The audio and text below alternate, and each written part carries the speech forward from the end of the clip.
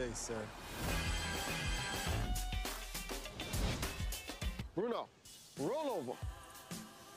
You should take my number.